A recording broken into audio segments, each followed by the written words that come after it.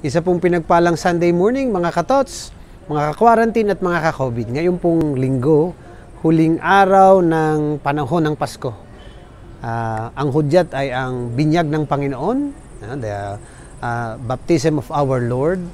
Tayo po ngayon ay siyempre uh, magninilay tungkol dyan. At ang ating pong ebanghelyo ngayon, hinango kay San Lucas, Kabanata 3, mga talata 15 hanggang 16, tapos ay 21 hanggang 22 ay patungkol nga doon sa binyag na iyan. At merong tanong ako na magandang maitanong muna bago natin pagnilayan ng tuloy-tuloy ito. Ano po yun?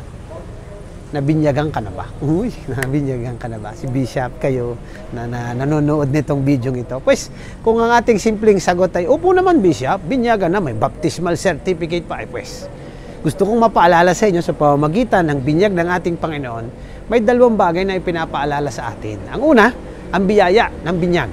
Ang pribilehiyong bigay sa atin ng sakramentong ito na ano?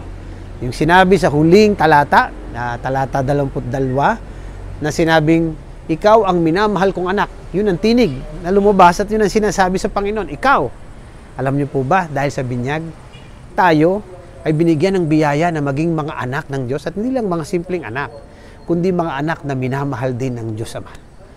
No? Katotohanan na po yan. Yan ang turing sa atin, mga anak, dahil sa ating binyag. At di lang yan turing. Yan po ang ibinibigay sa atin ng Diyos. Ang kanyang pagiging Diyos.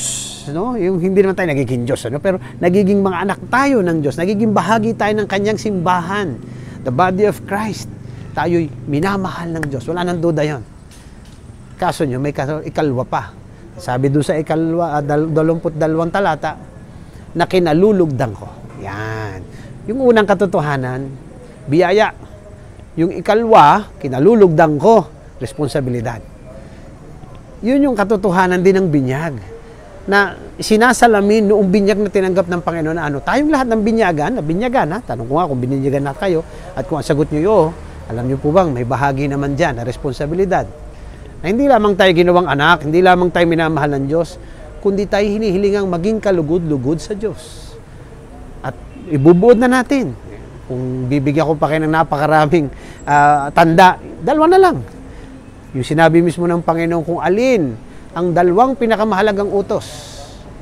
Mahalin mo ang Diyos ng higit sa lahat, mahalin natin ang kapwa natin tulad ng ating mga sarili. Doon pa lamang, doon na, magkakasukatan na kung kalugod-lugod tayo sa Diyos. Kung tayo namumuhay sang ayon sa misyon at bukasyon natin. Yung una, yung pagpapahalaga sa Diyos ng higit sa lahat uh, ito isa sa mabibigat na kailangan nating masagot eh. Kung sa buhay baga natin ay higit talaga ang Diyos sa ating mga pag-aari, sa ating mga uh, ewan ko, uh, profesyon, sa ating mga uh, pinapahalagahan sa buhay, higit pang mas mahalaga para sa atin ng Diyos. Ay di sukatin kung paano natin binibigyan ng panahon ng Diyos, kung paano mas mahalaga ang kalooban ng Diyos kaysa doon sa mga bagay na ito, sa mga ating pinapahalagahan. Ang ikalwa po, ay kung minamahal natin ang kapwa natin tulad ng ating mga sarili. Eh di yun. Kayo nang makakasagot niyan. Napakasimple naman ho niyan. Ay kung tayo nangangailangan, naghahanap tayo ng taong tutulong. Eh tayo ba tumutulong sa mga nangangailangan? Kung tayo nagkakasala, ang hinahanap natin ay pagpapatawad. Di po tayo. Eh kung may nagkasala sa atin, pinapatawad ba natin? Inuunawa ba natin? Kung tayo ayaw natin tayo ninanakawan, ninanakawan ba natin sila? Kung tayo ayaw nating sinasaktan, sinasaktan ba natin ang kapwa natin? Mga kapatid, doon masusukat kung kalugod-lugod tayo sa Ama. So kayo na hong bahala, mga kapatid. Samagot naman ata kayo ng nabinyagan na po. Ay, kung nabinyagan na tayo, sana wag mong kalimutan, anak ka ng Diyos at mahal ka niya. Pero ikalwa, may responsibilidad tayo. At may bukasyon sa kabanalan. At misyon na kailangan din mamuhay tayo sang-ayon sa kalooban ng Ama. Okay po? Okay, sige. Eh di siyempre, punta tayo lagi sa ating uh, panyaya sa inyo. Yan, bahagi ng mission natin na ano, maging cyber missionaries. Evangelize po lagi through itong social media. Like, share, follow po itong ating page at ang ating pong Instagram at Thought for the Day at ang ating YouTube channel na TFTD Blessed and Blessing. Pagbati po natin ng happy birthday kina Sister Celia Monte Alegre ng Apostolado ng Panalangin, ganyan rin kay Sister Mirna Manos din ng Apostolado ng Panalangin. Ganun happy birthday sa love na love kong si Atelilia Maralit, asawa ni General Louis Gayon na rin kay Joyce Morong, kay, sa dating kasama sa seminaryong si Fernand Bailosis, kay Nancy Adriano, kay Janice Rial, kay Casey Gonsalvo, kay George Olympia, kay Romel Mabunga, kay Ma'am Mir Nasaho, kay Nanay Deling Madla.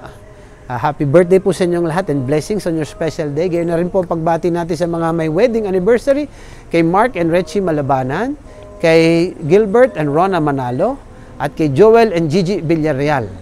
Happy wedding anniversary sa inyo at blessings pa para sa inyo at sa inyong pamilya. At paghiling din po natin ng panalangin para sa mga kaluluwa ni Nazal Di Nunez, Fe Aguila, Titing de la Santa, Nanay Titing de la Santa, kay Nanay Doray Yabyabi, na nanay ni Father Jerry Yabyabi ng Oblates of St. Joseph. Prayers po para sa kanilang mga kaluluwa. At syempre po, patuloy ang prayers na hinihiling natin para sa lahat ng ah, ah, may pinagdadaanan lalo na sa dahilan itong COVID-19 na ito. Ah, tuloy po ang prayers natin lalo na ngayong napakarami hong nahawaan na marami na ang naging COVID positive. We continue to pray for all of them para ma-survive nila ito. Siyempre, mga mahal nila sa buhay at lahat ng ating mga frontliners. At siyempre, hindi pa rin mababago naman ang paanyaya sa ating lahat. No? Lalo na kung tayo mga binyagan, eh di huwag kalilimutan, always be blessed and be a blessing. Ingat po kayong lahat.